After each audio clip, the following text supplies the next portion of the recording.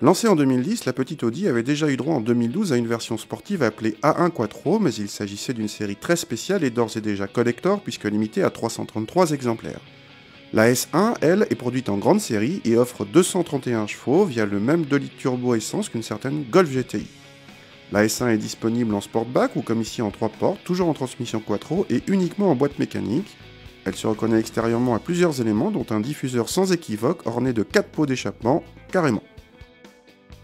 A l'intérieur, on retrouve bien sûr la planche de bord des A1 normales avec une qualité de présentation qui fait référence sur le segment, la personnalisation vient du volant à mi-plat, des compteurs et du levier de vitesse siglé S1 ou des sièges baquets. L'ensemble reste assez discret.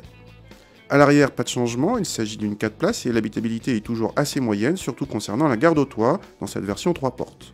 Le coffre a perdu en volume par rapport aux A1 normal à cause de la transmission quattro installée sur l'essieu arrière.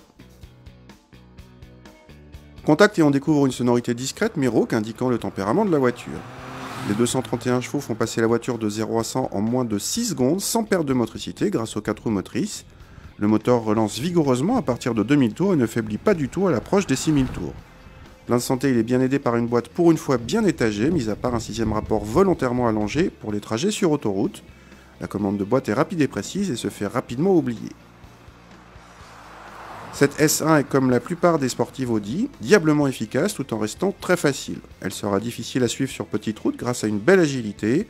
Le train avant est précis et l'arrière participe à la demande sans en rajouter.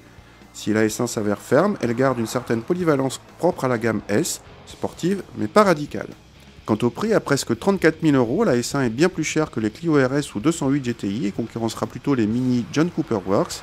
Mais la S1 est plus puissante, la seule à offrir 4 roues motrices et pour une fois bien équipée.